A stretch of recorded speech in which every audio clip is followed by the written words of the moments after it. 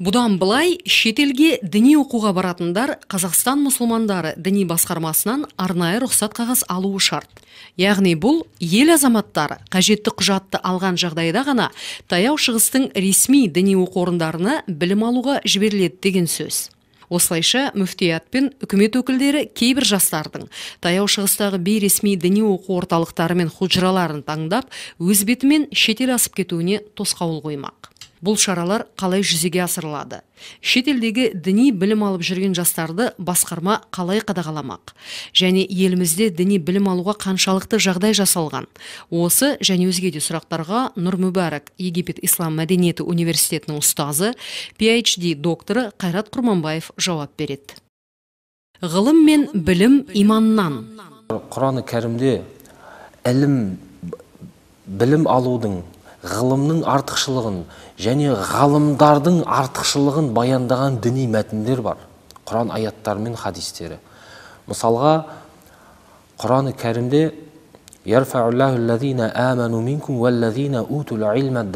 дейді. Алла өзінің иман өзіне иман келтірген пенделерменен білім иелерін жоғары қояды дейді. Бұл жерде тіпті ғылымды білімді иманменен теңестірген. Қарапайым ислам дінінде өзінің мінде, адамға міндеттеген құлшылық ғибадаттар бар. Егер біз білмейтін болсақ ілімге көңіл бөлмейтін болсақ ол ғибадаттарды дұрыс өтей алмаймыз. Сондықтан ә, құлшылықтан да бірінші кезекте ілім тұрады. Алғашқы аяттың да іліммен байланысты болуы білім үйрену барша мұсылмандарға парыз. Сол секілді пайғамбарымыздың ғылымға білімге оқу жазуға ынталандыру сөзімен ісімен тарихта көп ә, үлгі болып кеткен. Хадистерге келетін болсақ пайғамбарымыз білім үйрену әрбір мұсылманға парыз дейді. Әрбір мұсылманның ерге де әйел адамға да білім алуы парыз. Өкінішке орай әрине қазіргі бұл ә, қазіргі таңда ислам әлемінде кейбір мұсылмандардың бұл аяттарды бұл хадистерді дұрыс түсінбей ғылым білімге немқұрайлық таныту салдарынан қазіргі таңда ә, барлық салада кешеуілдеп қалғандығымыз анық. Сондықтан кейбір дін ілімдері әрине барлығы бірдей кез келген мұсылманға парыз деп айта алмаймыз. Кейбір ғылым салалары кейбір діннің негіздерін үйрену әрбір мұсылманға міндетті. Өйткені дін деген не жаңа айтқанымыздай дін тек қана жаратушы менен адамның арасындағы қарым қатынас емес ол біздің күнделікті жеке өміріміз жеке тұлғаның өзіне қатысты мәселелер отбасылық қоғамдық әлеуметтік мәдени барлық саланы дін қамтыған. Барлық салада туындайтын сұрақтарға дін жауап береді. Және бере алдағы уақытта да беруге қабілетті дін. Дін ол хақ дін жаратушы тарапынан келген хақ дін ол өміршең. Адамның барлық өмір саласына яғни саласын реттейтін бір жүйе дін дегеніміз. Жұмыла көтерген жүк жеңіл халық даналығы. Қазіргі таңда біз білеміз қоғамымызда да көпшілік адамдардың дінге ә, дұрыс көзқараста немесе дінге бет бұруы жастарымыздың көп белең алып отыр. Сондықтан оларға дұрыс бағыт бағдар беру үшін ол жастарға дұрыс дінді үйрету үшін бірінші кезекте имамдар жауапты. Осы қазақстан мұсылмандар діни басқармасы тарапынан тағайындалған имамдар бірінші кезекте жауапты. Әрине барлық жүкті біз имамдарға артып қоя алмаймыз. Оған біз жұмыла кірісуіміз керек. Ә, мемлекетіміз де оған көп көңіл бөліп отыр. Дінді шетелде бір екі жыл оқып келіп немесе интернеттен бір екі дүниені қарап немесе бір екі жағы аудио бейне таспаларды көріп сен дінде сауатты бола алмайсыз қай саланың мысалға қай сала болмасын мысалға адам медицинаны алты жеті сегіз тоғыз жылдай оқып сол кезде медицина маманы болады.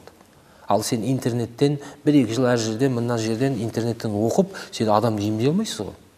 Сізге ондай құқық берілмейді. Сондықтан дін саласында да сол саланы зерттеген толық белгілі бір деңгейде меңгерген ғалым адамдардың сөзіне құлақ асамыз. Солар не айтады? Сондықтан әрине діннің өзіндік бір ерекшелігі бар діни түсінік діни наным сенімнің адам өміріне белгілі бір деңгейде ықпалы бар дедік. Бұл исламда да айтқанымыздай қазақтың өміріне астасып кеткеннен кейін біздің күнделікті өмірде көрініс табады. Әрине ол шектен шыққан діни түсінік болса ол да әсерін береді. Сондықтан дұрыс исламды көрсету дұрыс исламды үйрену әрбір қазақтың міндеті деп білем. Оған әрине имам немесе дін мамандары жауапты емес бірінші кезекте жауапты ол ата ана ата ана баласына дұрыс ислами тәрбие берсе ертең ол сан соғып қалмайды. Баласы андай болып кетті мындай болып кетті деп. Әу бастан дұрыс тәрбие дұрыс адал аспенен қоректенбей дұрыс тәрбие көрмеген бала әрине ертең ол ата анаға да ертең ол мемлекетке де қауіп қатерін төндіреді. Алла сақтанғанды сақтайды халық даналығы. Жалпы шетелде шетелдік жоғары оқу орындарында білім алу үрдісі бұл қай қоғамда да қай кезеңде де бар құбылыс. Ол ислам тарихында да болған тіпті бұны әсілінде ислам діні құптайды. Өйткені білім ғылым үйрену үшін ғылыми орталықтарға тарихта енді ғылыми орталықтар өзге өңірлерде өзге елдерде орналасқан кезде қиындыққа мойымай ғалымдарымыз сапарларға шыққан ұзақ ұзақ. Әрине бұл үрдіс жалғасын тауып келді. Қазіргі таңда да енді біздің тәуелсіздігімізді алғаннан кейінгі кезеңдерде де кейбір жастарымыз бейресми түрде шетелге аттанды. Оның ішінде ресми түрде де мысалы өзіміз секілді университеттердің келісім шарты арқылы шетелге білім алуға жастар барды. Ә, негізінде жалпылама қарайтын болсақ шет елге барып қай салада болмасын білім алудың бір сөкеттігі жоқ дұрыс. Алайда дін мәселесінің кейбір тұстары бар. Діни ә, сауат ашу үшін шетелдерге барудың кейбір мәселелері бар. Оны біздің қазіргі таңдағы нәтижелер бізге бұны көрсетіп отыр. Қалай дейтін болсақ өйткені бейресми түрде өз бетімен өз қаражатымен мысалға шетелге барған кезде шетелде енді адамның табиғаты ол түрлі көзқарастардың түрлі бағыттардың түрлі топтардың діни діни саяси топтардың шығу ол заңды. Ол бар тарихта да күнімізде де түрлі бағыттардың белең алып отырғанын біз көріп жүрміз. Шетелге әрине кейбір бағыттар өздерінің оқу орындарын идеологияларын тарату үшін кейбір оқу орындарын ашады.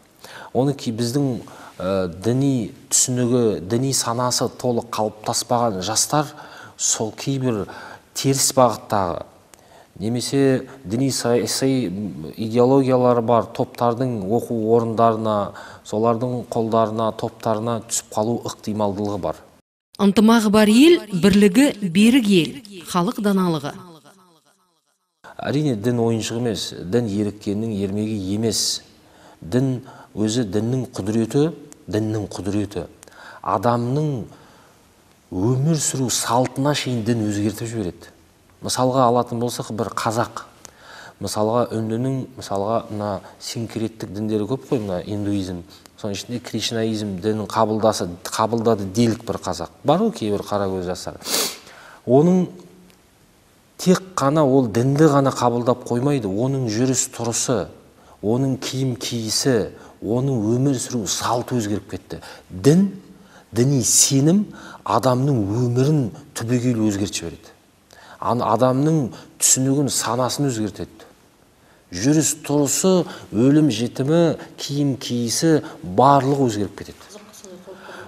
Енді кейбір діни түсініктерге бой алдырған жастар ол сол кейбіреулер тіпті ондай терең кетпеген күннің өзінде әлі көп оң солын дұрыс танымы тани қоймаған жастар сол елдің менталитетінен әсер алады. Ал дін жаратушы әр халықты өзінің ұлттық ерекшеліктерімен жаратқан. Енді біреуі пакистанға барады біреуі сауд арабиясына біреуі анда біреуі мұнда барып сол елдің әркім сол елдің менталитетін өмір сүру салтын біз өзімізге алып келсек не болады? Сондықтан енді діни түсінігі өз алдына. Егер теріс ә, дұрыс ә, дәстүрлі исламға дұрыс исламға қайшы келетін түсініктері болса әрине ортада қоғамда ертең әркім өзінікін дұрыс санап ортада келеңсіздіктер түсініспеушіліктерге жол ашады. Оның арты кей жағдайда көріп жүрміз ә, талас тартысқа жанжалға қақтығысқа да алып келуі ықтимал. Болашағын ойлаған ел әуелі шеттегі ұрпағын аялайды. Шетелге әрине оқуға біз ешкімнің құқығын шектей алмаймыз. Алайда қазіргі таңда қазақстан мұсылмандар діни басқармасы мемлекетіміз бұны бір жүйеге түсіруде оны яғни бірінші кезекте ресми түрде. Арнайы мойындалған әлемдік деңгейде немесе жалпы мойындалған мемлекеттік сол шет елдердегі мемлекеттік әлемдік деңгейдегі университеттерменен байланыс орната отырып келісім шарттарға қол қойып мысалға сол университеттерге барса ол заңды ол кезде көп қауіп төнбейді. Бірақ оның барлығы мәселені шешеді деген сөз емес. Өйткені университеттен кейінгі студенттің өмірі қандай болады? Ол кімдермен ол жақта байланысады? Сондықтан әр шетелде жастар қазақ жастары көп шоғырланатын жерлерде бәлкім сондай бір студенттердің ұйымы бір араларынан бір басшылық өздерінің күнделікті өмірлерінде және жүйелі дұрыс ә, тәртіппенен дұрыс өткізу үшін сондай бір ә, сол жердегі консулдық бола ма елшілік тарапынан бір мамандар қадағалап басқарып яғни өйткені бұл ә, бұл сондай бір ойым иә ұсыныс. Ә, болса бұл біріншіден олардың өздеріне де жақсы. Дұрыс бағыт, бағытта дұрыс түсінікте қалыптасады. Ертең бұл еліміздің болашағына елімізге оралғаннан кейін ә, сол елдің немесе кейбір жаңағы дұрыс емес немесе теріс бағыттағы идеологияларды алып келмейді. Жастардың көп баратын сауд арабиясы және мысыр. Ал қазіргі таңда мына ә, таяу шығыстағы сирия елдері мысалға ә, сирияда мысалы ол жаққа ешкім бара алмайды енді оқуға әрине тұрақсыздық салдарынан. Сол секілді солтүстік африка елдерінде мысалы ливияға да тунис алжир ол жақтарға да қазір шамамен жастар білім алып жатқан жоқ. Көп шоғырланған ол мысыр елі жастардың және сауд арабиясы. Қалған елдерде өте аз немесе жоқ. Осы белгілі елдер белгілі елдерде сондай жүйе қалыптастырып қадағалау бақылауға алынса әрине құба-құп айтып өткеніміздей әрине бұл өзіміздің еліміздің мемлекетіміздің болашағы үшін. Қазақстандағы ислами білім беру орындары. Мемлекетіміздің қолдауыменен қазақстан мұсылмандар діни басқармасының бастамасымен қазіргі таңда елімізде үлкен орта азияда орта азияда теңдессіз үлкен университет бірнеше жылдан бері жұмыс істеп отыр.